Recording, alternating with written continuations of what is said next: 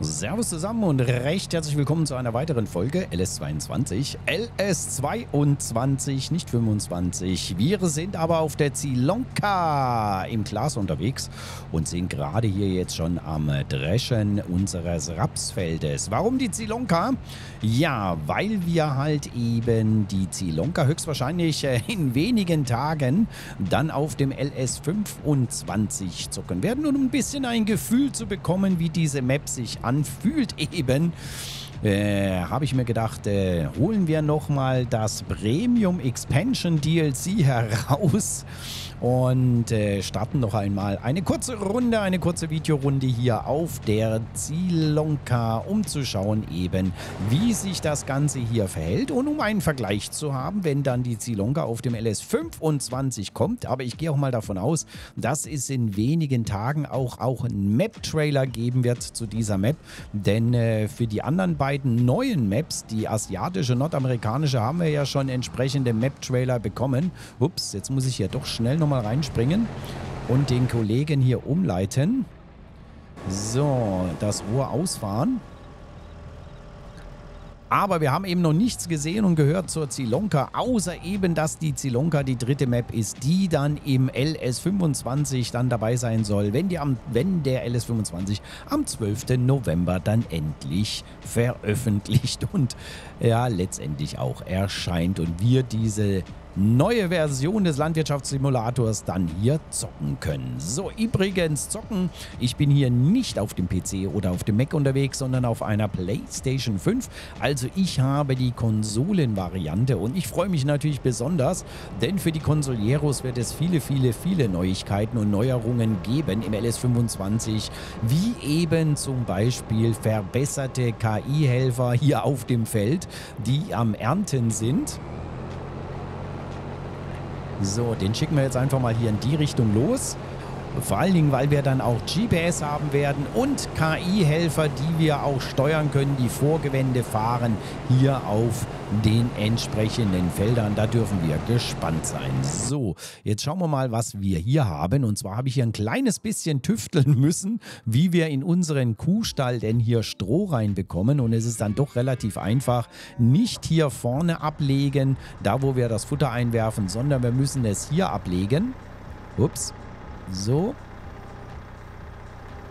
Ja, und dann müsste er verschwinden und wir müssten schon wieder etwas mehr im Stroh in unserem Stall haben. 10.000 Liter, das passt hervorragend. Bingo, 43.000 Liter Mischration. Bingo, und da würde ich doch sagen, gehen wir gleich mal in die Vollen. So, Dele. Und werden uns nochmal ein paar Tierchen kaufen. Das kann ja nicht schaden. So, wie viel passen denn rein? 120. Ja, dann nehmen wir doch einfach nochmal von denen hier. Genau, nochmal 20 Stück rein und dann haben wir auch ein bisschen Action. Hervorragend. Kaufen und ab die Post. So, dann passt das. 25 Stück. Hervorragend. Ja, obwohl 25 ist wieder eine blöde Zahl. Nehmen wir nochmal 5 dazu. 30, 60, 120. So wäre es, glaube ich, dann besser. Also nehmen wir noch 5 dazu. Dann haben wir 30. Denn wenn die ja Nachwuchs bekommen... So, genau, dann haben wir einen schönen Teiler und Bingo, hervorragend. So, 30 Tiere im Stall, da ist jetzt Action angesagt und die liefern zumindest noch nichts. Ist ja auch klar, Produktivität 0%. Wir haben sie ja gerade erstmal gefüttert. Das dauert noch einen kleinen Moment, bis die Tierchen dann hoffentlich mal Milch, Stroh, Quatsch, Mist und Gülle liefern. So, Delay, da müssen wir ja sowieso auch erstmal schauen. Wir haben hier zwei Trigger. Ich bin mir nicht sicher. Ich vermute, der hier wird für Mist sein. Und hier wird irgendwo doch ein Gülle, ein Gülleausgang sein. Wir werden sehen. Ich sehe es noch nicht. Ich lasse mich überraschen. Mit dem Stall habe ich jedenfalls noch nicht gearbeitet. So, den hier packen wir erstmal zur Seite. Denn wir haben ja genügend Unterstellmöglichkeiten. Sogar mit Solar, mit PV-Anlage. So, Delay, dann stellen wir den einfach mal hierher. Da stört er nicht. Dann wenden wir uns nochmal dem Glas zu. Letzte Bahn, hervorragend. Dann können wir anschließend losgehen und Weizen und Stroh machen. So, er wartet. Motor aus und wir können eigentlich mit dem wunderschönen Zetter Crystal hier schon mal rüberfahren. Zu unserem Grasfeld, was wir eigentlich dachten, dass es ein Grasfeld ist, also beziehungsweise schon ein erntereifes Grasfeld, aber dann doch nicht. Und so müssen wir dann jetzt erstmal etwas improvisieren und äh, ja, mh, klar, der fährt nur 25, das war mir klar. Stimmt, der wird etwas länger brauchen. Und ihr wisst ja, wenn es mal wieder etwas länger dauert, dann gerne meinen Kanal abonnieren und sich darauf freuen auf neue Videos, die hier dann kommen. Nicht nur zu, zur Zilonka, sondern natürlich machen wir hier auch schönen, schönen Stream. Zum Beispiel am Montag sind wir auf der Oberschwaben unterwegs, immer ab 20.30 Uhr. Donnerstags auf der Alteiche vom guten Kalle, auch ab 20.30 Uhr, so für circa zwei bis drei Stunden. Dann haben wir am Mittwoch unseren Multiplayer hier und zwar auf der Reba. Da sind wir zu sechs unterwegs auf sechs Höfen, aber unterstützen uns gegenseitig, wie gesagt, im Multiplayer.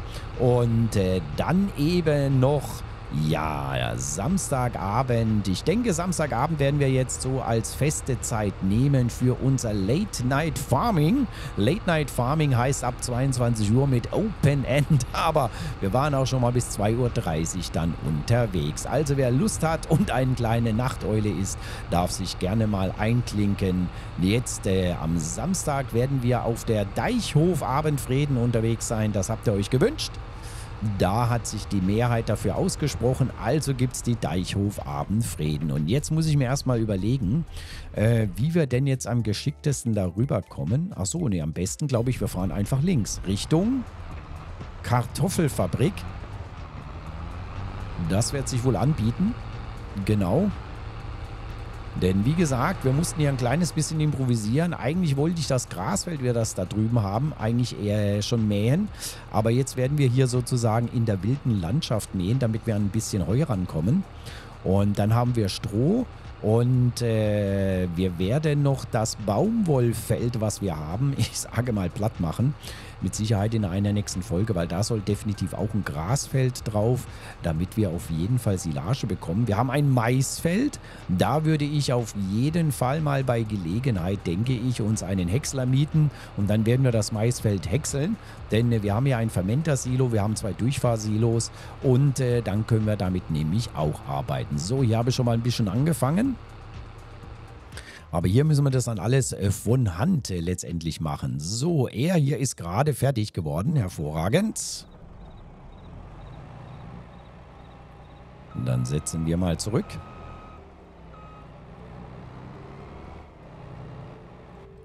So, und während er hier überlädt, können wir hier vorne schon mal das wunderschöne Gresoni-Schneidwerk einpacken einklappen, um uns äh, vorzubereiten, natürlich dann anschließend auf den Weg rüber zu unserem Getreidefeld.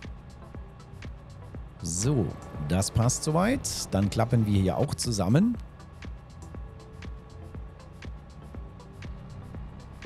Und los geht's. So, hier linker Hand haben wir unser Baumwollfeld, da machen wir Gras drauf. Da müssen wir natürlich noch die Gerätschaften dafür kaufen. Ich weiß auch nicht, ob wir das pflügen müssen. Müssen wir das pflügen? Augenblick mal. Habe ich Pflügen eingeschaltet? Ich habe eingeschaltet und ich muss pflügen. Okay, hilft nichts.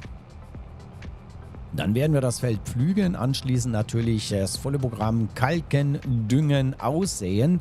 Aber die Drille und die ganzen Gerätschaften habe ich noch nicht gekauft. Da müssen wir erst noch ja, ins Invest und die entsprechenden Geräte uns anschaffen. Ja, warten wir es ab. Wir haben noch ein bisschen Zeit. 13 Uhr im August.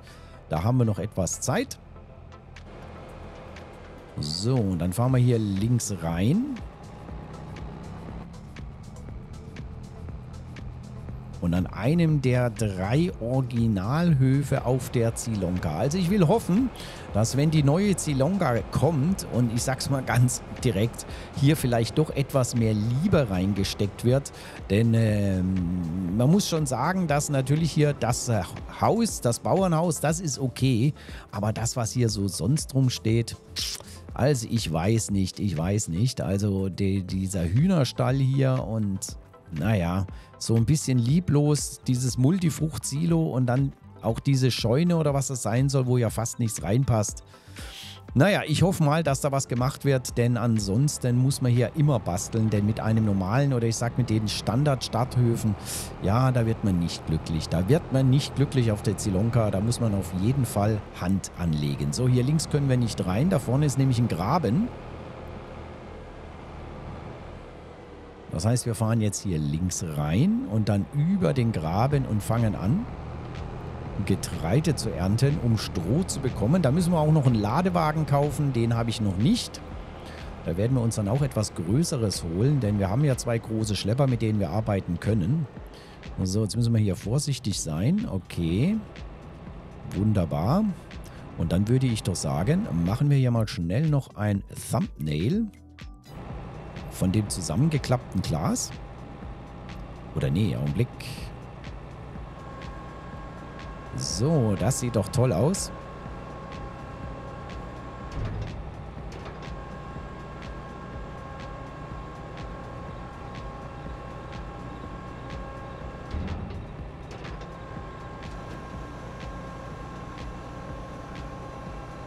Zack. Hervorragend. So, und dann schalten wir die Hilfe nochmal ein. Und dann kann es losgehen, oder? So, wir müssen mal schauen. Strohablage anschalten. Klar, vorhin hatten wir keine.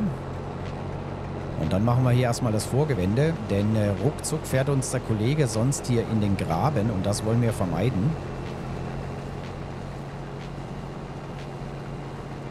Ertragswerte werden natürlich erfahrungsgemäß relativ niedrig sein, weil die Felder alle dann so zwischen, ja, ich sage mal 64, 66 Prozent liegen, wenn man sie hier kauft.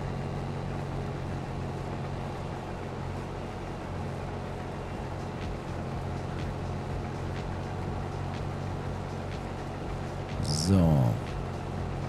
Und dann lassen wir hier auch wieder den Helfer arbeiten. Und auch das ist ein ziemlich langes Feld. Wir müssen uns um den Deutz kümmern, der soll das Material wegbringen. Auf geht's! In unser Multifrucht-Silo, was haben wir denn? 17.000. Also von diesem relativ großen Feld gerade mal 17.000 Liter Raps. Das seht ihr, da müssen wir noch ein bisschen Hand anlegen. Es hilft nichts. Wir müssen da auf jeden Fall ordentlich arbeiten und dazu brauchen wir nochmal Geräte. 755.000 sind auf dem Konto. Wie gesagt, ich habe mir ein kleines bisschen was draufgepackt. Wir wollen das jetzt hier nicht zu ernst nehmen in diesem Projekt, sondern es geht ja wirklich darum, hier schnell auch vorwärts zu kommen, um ein bisschen Action zu haben. Und dann wollen wir eben auch nicht mit den kleinsten Geräten arbeiten, sondern da haben wir uns zum Beispiel hier diesen schönen, wunderschönen Deutz hier angelegt, äh, zugelegt. Den Warrior mit 247 PS, da bin ich zufrieden soweit. Der macht hier die gröbsten Arbeiten. Und dann haben wir ja noch einen schönen Johnny mit fast 300. Da kommen wir dann auch wesens vorwärts. So, jetzt bin ich mal gespannt, ob das hier auch klappt. Sehr schön. Und der schiebt das Material, was auch gut ist. Ich bin mir nämlich nicht mehr sicher, ob hier die Abladestationen ja auch wieder welche sind, wo man drunter fährt und dann Kollision und so weiter. Okay. So, und dann habe ich es ein bisschen Candle-like versucht. Immer so mit Rundwegen, dass falls wir dann doch wieder mit Drehschemel unterwegs sind, wir uns das Leben nicht zu sehr zu schwer machen. So, einmal hier um die Missplatte rum. So, Fruchtzerstörung ist an. Müssen wir ein bisschen aufpassen. Und dann fahren wir mal rüber zu unserem Glas. Und schauen mal, wie weit er schon mal ist. So. Also, ihr dürft gerne mal in die Kommentare reinschreiben, wie ihr denn die Zilonka als solches findet. Findet die Anklang bei euch? Wollt ihr die Zilonka als erstes zocken, wenn ihr den LS25 bekommt? Oder seid ihr ganz, ganz scharf auf die amerikanische Map? Auf die River Belt Springs oder so ähnlich? Oder eben auf die asiatische, die ja wohl, so wie es aussieht, ein Zusammenschnitt verschiedener Kulturen in Anführungszeichen ist. Also eben auch äh, japanisch, koreanisch, eben asiatisch. Da bin ich mal gespannt, wie ihr das Ganze seht. So, auf jeden Fall sehen wir den Glas nicht. Der ist so weit da oben, dass wir ihn nicht sehen. Ja, es sind viele, viele so lange Felder, langgezogene Felder mit entsprechender Größe. So. Okay.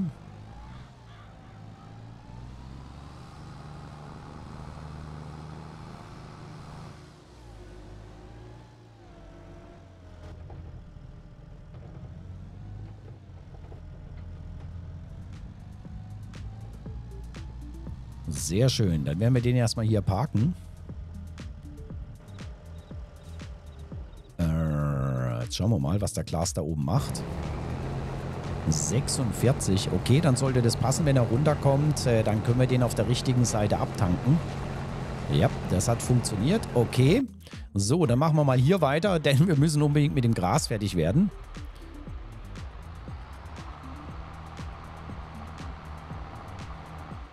So, Motor an. Vorne Motor an und los geht's. Ja, da werden wir es auch nicht übertreiben, denn wir müssen das alles von Hand abfahren hier, dieses Feld. Mit dem Mähwerk von Samasch.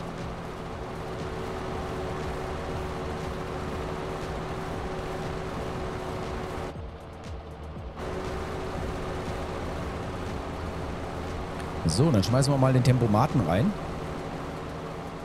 Und äh, die Büsche lässt er natürlich stehen, aber da müssen wir durch, hilft nichts. Mit Sicherheit könnte man natürlich dann das Geld, ge, das Geld, das Gelände hier auch bearbeiten. Das wäre mit Sicherheit kein Problem. Da könnte man dann Felder erstellen und dann natürlich hier auch entsprechende Erträge oder es sich auch leichter tun mit den Helfern. So, jetzt muss ich aber doch nochmal reingucken. Wie viel PS haben wir denn hier bei dem schönen, schönen Gerät? 290, aber wir können den noch ein bisschen aufbohren im Zweifel.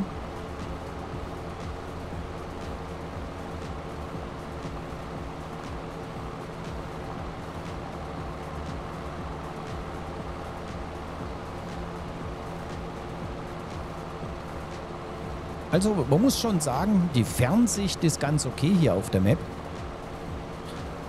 nicht die gewohnten Alpenberge dann immer am Maprand.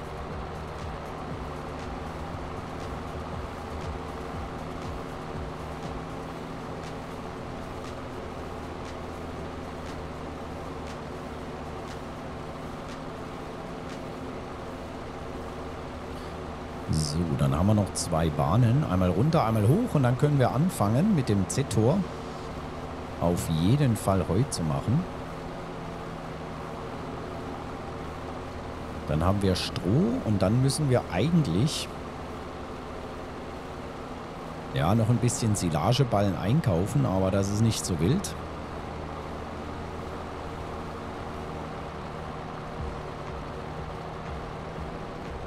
Denn spätestens, wenn unser Grasfeld erntereif ist, das ist dann im nächsten Monat, da werden wir dann auf jeden Fall Gras ins äh, Silage, in den Silagebunker bzw. in das Fermentersilo werfen und dann uns selbst die Silage produzieren. Aber ich denke, mit 44.000 Liter Mischration ist erstmal der Stall gut ausgestattet. Da werden wir, denke ich mal, zwei Monate rumkommen. So, und hier sind wir auch rumgekommen.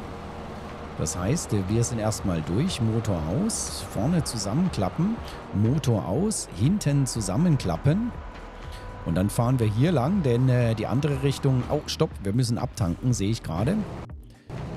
So, dann machen wir mal an. Und dann werden wir hier das erste Mal abtanken.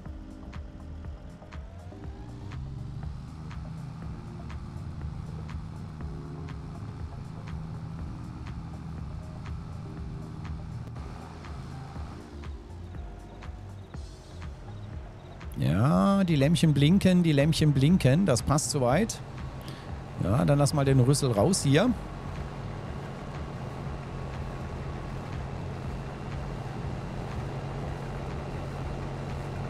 Also definitiv wäre die Zilonga auch eine Option für ein äh, Big Farm Projekt. Denn man muss schon sagen, hier sind viele, viele große Felder. Am Rande gibt es dann auch kleine Felder damit man dann so Sachen machen kann wie Kartoffeln zum Beispiel oder Zuckerrüben. Aber hier wirklich äh, große Geschichten sind ja gut möglich, wie eben Getreide oder Mais, weil man doch große Felder hat, die parallel liegen, die man dann auch zusammenlegen könnte. So, den können wir hier erstmal stehen lassen, denn da drüben haben wir ja nochmal ein Feld und das kann man dann, könnte man zusammenlegen. Man sieht es auch hier wunderschön.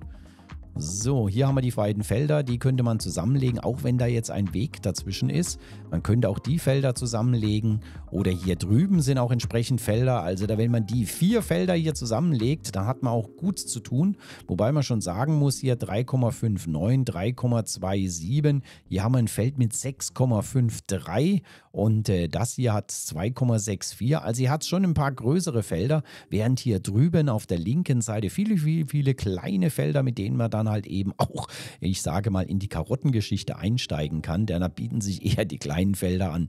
Die großen sind dafür überhaupt nicht geeignet. Und äh, als ich meine erste Videoserie hier auf der Zilonka gemacht habe, sind wir natürlich hier auf dem Hof gestartet und haben hier überwiegend natürlich hier auf diesen Feldern gearbeitet.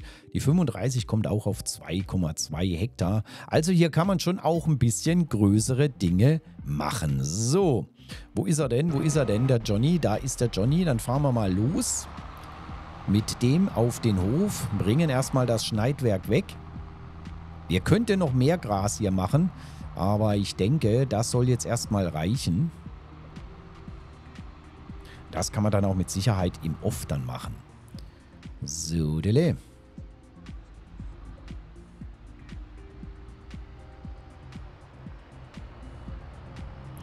So, die Kartoffelchipfabrik ist gut am Arbeiten. Augenblick mal.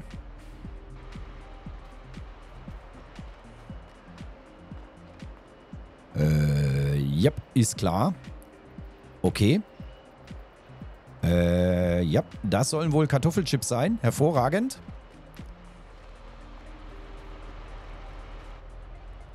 So, Dele. Und ab die Post.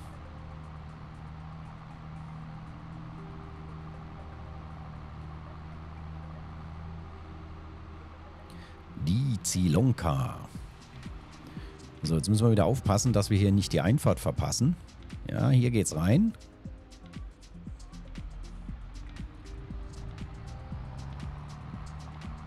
Sehr schön. Dann bringen wir das in die Halle für Anbaugeräte. Also ich will es mal so formulieren. Wir werden diese Halle, die uns gegenüber liegen, die hier, die hier, ich glaube, da werden wir jetzt unsere Anbaugeräte reinpacken. Hier drin haben wir dann unsere Fahrzeuge und unsere Anhänger.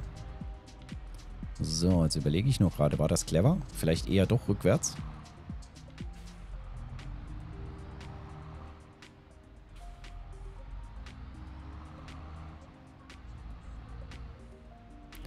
So, ja, es ist die Frage, wie man das auch am geschicktesten macht, ne? Ja, ist halt schon ein wenig blöd mit den, mit den äh, Stützen. Ja, ich überlege gerade, ob das alles so Sinn macht.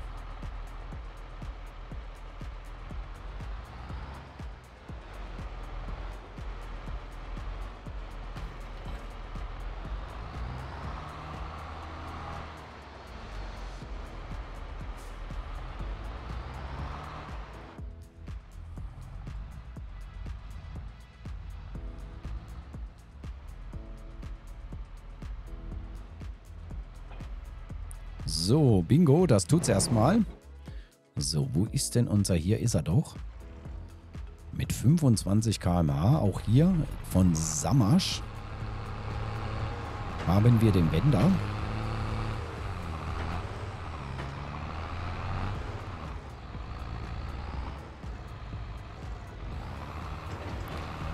Tempomat rein und los geht's. Dann werden wir hier mal ein bisschen äh, Gras wenden und Heu äh, produzieren.